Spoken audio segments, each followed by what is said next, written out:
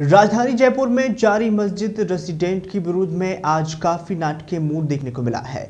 बता दें कि आज हमले को लेकर विरोध कर रही छियासी और चौरासी साल की बुज़ुर्ग भूख हड़ताल पर बैठ रही थी, जैसे तैसे उन्हें समझाइश कर भूख हड़ताल को रोका गया है। विरोध कर रहे डेलीगेशन ने मामले को लेकर आज जम्मे की नमाज़ के बाद ही जयपुर पुलिस आयुक्त से पुलिस उच्च अधिकारी से मुलाकात की है और मामले में नई कमेटी के तुरंत ही खारिज करने की मांग की गई है। इस पर पुलिस की ओर से कहा गया है कि मामले में जारी जाँच में अगर पुरानी कमेटी के खिलाफ ही नतीजा आता है तो क्या भी जाँच को मानकर विरोध को रोकने के लिए तैयार होगी।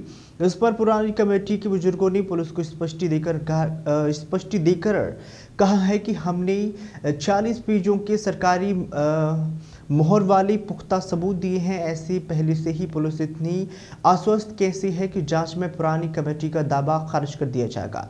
बता दें कि मामले को लेकर भूख हड़ताल की चेतावनी देने वाली छियालीस वर्षीय बुज़ुर्ग हाजी अब्दुल कयम को आज उनकी तबीयत खराब होने की वजह से भूख हड़ताल को रोक दिया गया है और पुलिस ने समझाइश कर भूख हड़ताल रोक दी है।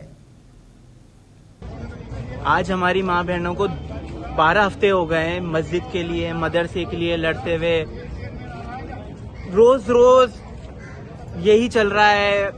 वक्फ बोर्ड पे कोई मतलब सुनवाई करने को तैयार नहीं है। कोई ऐसा भी नहीं है कि कोई एक बड़ा अधिकारी आकर के पूछ ले आप लोगों की क्या तकलीफ़ है क्या परेशानी है क्यों आप लो, लोग है ना इतनी धूप में खड़े होते हैं। मतलब बहुत ही मतलब अफसोस की बात है। मतलब मुसलमानों का कौम का इतना मतलब कौम पिछड़ गई है कि मतलब हक की बात बोलने के अंदर भी मतलब उनको सोचना पड़ रहा है। सबसे बड़ा आज देश के अंदर मुद्दा ये है जैसे कि बेरोजगारी खत्म है। ये लोग ये चाहते हैं कि मस्जिद को हड़प कर हड़प लें। रोज़गार तो मिल नहीं रहा। तो क्या करेंगे कि मस्जिद को बेच बेच करके ये अपना रोज़गार चलाएँगे?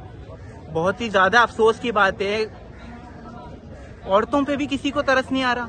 हमारी माँ बहन बारह हफ़्ते हो गए हैं कम से कम रेगुलर आ, आ रही हैं। दो दो घंटे धूप के अंदर खड़ी रहती हैं। बोर्ड अब मतलब अब तो ऐसा लग रहा है कि अब कोई शहीद हो जाएगा या किसी की जान ही निकल जाएगी, तभी उनको समझ में आएगा कि इनके दिल की तकलीफ़। जब ये ऐसे नहीं जब भी होश में आएँगे, इतना टाइम हो गया आपको प्रदर्शन करते हुए, सब कुछ करते हुए, लेकिन उनके कान में जरा जू नहीं रहेगी नहीं कि भाई ये महिलाएँ धूप में खड़ी हैं, परेशान हो रही है कि इनकी बात सुन ली जाए, या कोई अपना आदमी भेज भेज भेज के बात करें कि भाई क्या मसला है, आप इतने इतने टाइम हो गया? की वो नौबत आए, उसके बाद मानेंगे, या वैसे हम शांतिपूर्वक करना चाह रहे हैं, लेकिन वो नहीं मान रहे। सर फुटबॉल के बाद ही मानेंगे कि क्रिया की प्रतिक्रिया करेंगे? मतलब वैसे नहीं करेंगे। मेरा तो सलामकुम भाईजान, आज ये बारहवा हफ़्ता हो चुका है हमें यहाँ पे प्रोटेस्ट करते हुए। पिछले बारह हफ़्ते से हमारी माँ बहनें और ये मोहल्ले के निवासी यहाँ प्रोटेस्ट कर रहे हैं। सिर्फ़ अपने मदरसे को बचाने के लिए वक्त बोर्ड ने हम पे जो कमेटी ठोकी है, उसका विरोध है। इस कमेटी के अंदर काफ़ी आपराधिक प्रवृत्ति के लोग हैं, जिनके खिलाफ हम लोग लड़ रहे हैं। पिछले बारह हफ़्ते से हमारी माँ बहनें धूप में खड़ी है, मोहल्ले के बुज़ुर्ग लोग खड़े हैं इस प्रोटेस्ट में, मगर कोई सुनवाई नहीं हो रही हमारी।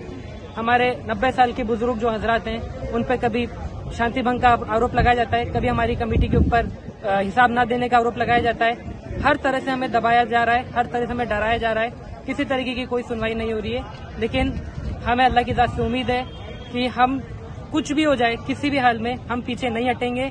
चाहे वक्त बोर्ड ना सुने, हम लोग तब तक ऐसे ही खड़े रहेंगे इनशाला जब तक हमारी मांगे पूरी नहीं होगी